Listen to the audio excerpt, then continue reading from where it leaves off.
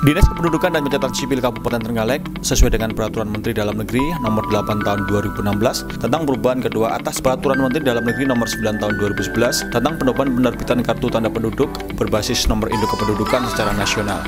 Maka Dinas Kependudukan dan Pencatatan Sipil Kabupaten Trenggalek kembali gencar melaksanakan rekam atau pembuatan kartu tanda penduduk ke desa-desa di Kabupaten Trenggalek. Hal tersebut bertujuan untuk menuntaskan perekaman bagi penduduk wajib KTP. Dinas Dukcapil juga melakukan pelayanan keliling, akta kelahiran, dan akta kematian.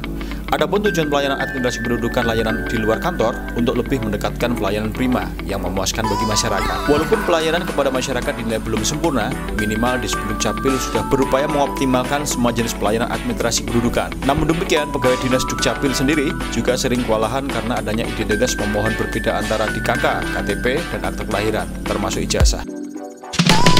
Saya Kepala Desa Pringapus mengaturkan terima kasih atas terselenggaranya pelayanan admin di Desa Pringapus. Pentingnya pelayanan admin di desa yang sangat menjadi harapan kami, peran serta dari semua pihak. Semoga benar-benar tuntas admin untuk Desa Pringapus. Dan salam sehat di masa pandemi ini. Semoga Pringapus bebas corona dan Kabupaten Trenggalek juga dengan misi Bapak Bupati roket bebas COVID-19.